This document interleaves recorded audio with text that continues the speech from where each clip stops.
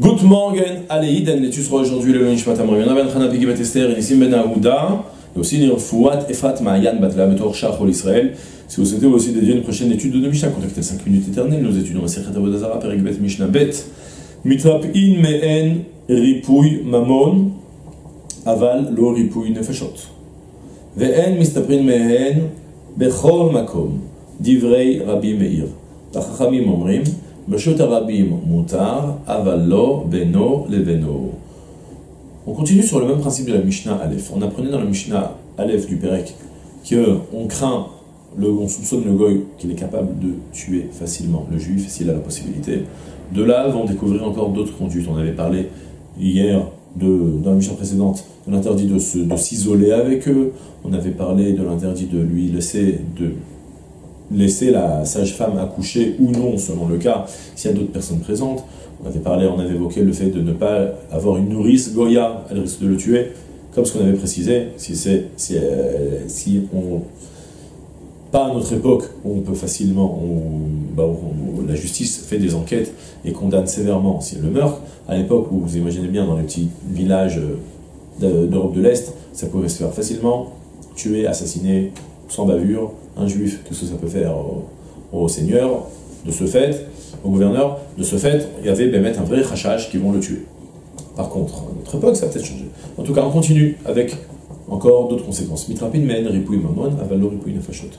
On peut se guérir chez eux, se soigner, un soin médical d'argent, de bien, avalo ripouille nefashot, mais pas se guérir son être. De quoi on parle précisément C'est pas compliqué.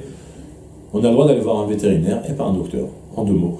Un ripouille mamon, euh, soigner son bien, c'est-à-dire si j'ai des animaux malades, alors je peux les amener chez le goy, le goy va avoir pitié d'eux, mais par contre, si moi je vais aller me faire soigner chez le docteur goy, il risque de me trouver des problèmes ou de me créer des problèmes plutôt et de me laisser sur le billard. De ce fait, alors, euh, alors on n'a pas le droit de se soigner chez un goy. D'accord Bien sûr, comme, comme on a dit, de nouveau, à notre époque, où si un médecin, qui a quelqu'un qui va mourir sous ses mains, il va avoir une grave enquête, il va, perdre sa licence et tout ça, alors bien sûr, la halakha, elle ne sera peut-être plus en vigueur à notre époque, demander un grave pour chaque détail exactement, de toute façon, en tout cas, comme ça c'est rapporté dans le Tiferet d'Israël notamment.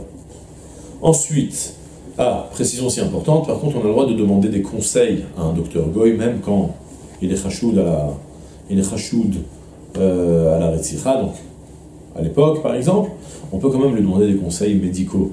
Parce que là, il va se dire pourquoi il me pose des questions sur la tête qu'il va les demander à quelqu'un d'autre et qu'il va, il va voir que je l'ai induit en erreur. Je lui ai dit de prendre du cyanure pour euh, soigner un petit mal de tête. Donc de ce fait, il va faire attention à ses conseils et donner des bons conseils. D'accord? Deuxième sujet maintenant. Par contre, on ne pourra pas, on ne peut pas se couper les cheveux chez eux dans aucun endroit. Divrei Rabbi Meir, tel avis Rabbi Meir. Quel rapport entre aucun endroit Quand on va faire la suite avec Rabbi, vous allez comprendre ce qu'il voulait dire Rabbi Meir. le beno.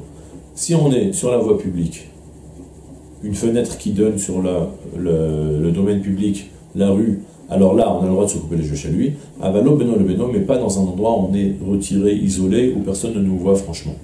Soit, lorsqu'on se fait couper les cheveux, surtout à l'époque, on laisse des couteaux dans les mains d'un goy. Et on a le dos tourné. Vous imaginez bien qu'est-ce qu'il va faire Il a un super beau coup de poulet avec un beau couteau de shrita devant lui. Il va pas le planter.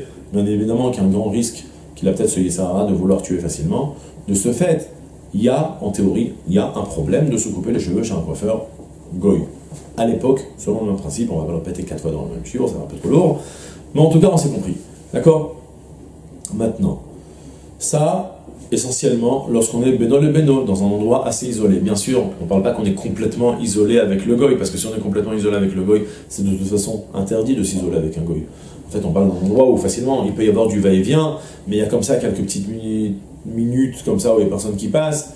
Donc le goy il va pas se mettre à, du point de vue isolement, c'est pas un vrai isolement, ça devrait être permis, mais du point de vue qu'il a déjà le couteau dans la main et qu'il est à quelques millimètres du coup, alors là, il y a un, un, interdit, il y a une crainte qui va, qui va le tuer. Ça, ça se passe que dans, le, dans un endroit où on est assez isolé, mais pas lorsque la fenêtre, elle, voit, elle, donne sur la voie publique, étant donné qu'il y a plein de passants qui passent. Tandis que Rabbi Meir, pense que même sur la voie publique, il y a le même problème, étant donné qu'il euh, va peut-être donner un petit coup d'œil, voir qu'il n'y a, personne qui vient. Ça prend pas longtemps donc, de faire une petite incision dans un endroit un petit peu dangereux où il y a une bonne veine, et puis voilà, il peut tuer, donc de ce fait, Rabbi Meir interdit. Une petite histoire comme ça, très jolie, très jolie, je sais pas si jolie, très moussarite en tout cas. Je reviens sur le début de la Mishnah. On avait vu, on a une Mishnah courte, donc on peut raconter des histoires, pourquoi pas. Il y avait, là-bas, on, avait vu que on craint pas que le goy, il va tuer mon animal, mon chien, ma, vache, mais qui va me tuer à moi, oui. Regardez comment le goy, il est capable d'avoir pitié de l'animal, mais pas pitié de l'homme. Parce que finalement, il aurait pu dire, ah, je vais au moins lui abîmer son cheval, comme ça le juif, n'aura plus de cheval. Non, ça, il va pas le faire, ça, on se permet de le faire. Au sens simple, c'est pas tellement compliqué. Parce qu'en fait, on parle que Max, il a eu une perte d'argent.